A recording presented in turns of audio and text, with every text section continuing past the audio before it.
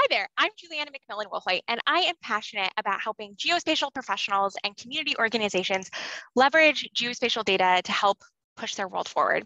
I am all about sharing tips and tricks, both to help you build the career that you love uh, within the world of geospatial, as well as just providing simple uh, tips and tutorials. So today's video is going to be pretty short. So I don't know if you're like me and uh, use QGIS, but um, I do a lot of my work in QGIS because it is a free tool.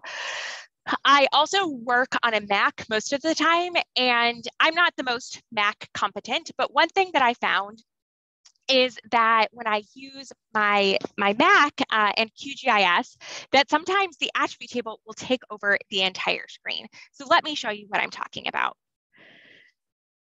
This is um, my attribute table that I'm working on, and I just opened it up, and it is taking over the, the entire screen. And so um, you know, I'm having a difficult time getting back to getting back to QGIS.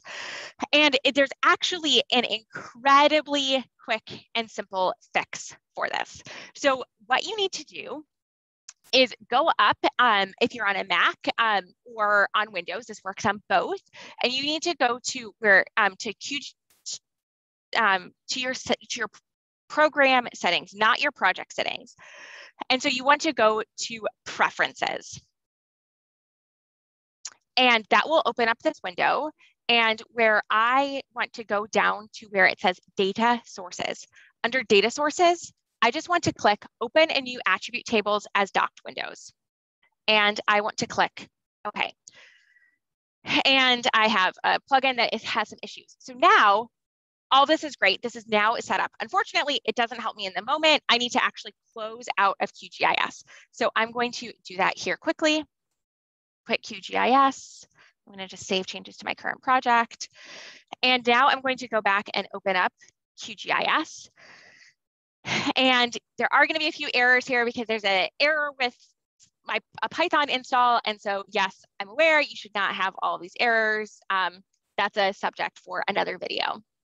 But we're just going to open this up here. We're loading my plugins, and I'm just going to go back to my project and I'm just going to click here, um, want to open up the attribute table and now it is down here at the bottom, which is great. I can now pop it out into another window if I want to, but it's no longer taking up the entire screen and I can actually use it.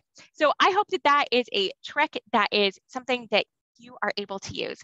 I am really thankful to be able to help and serve the geospatial community. I do geospatial career coaching to help people map the futures that they love.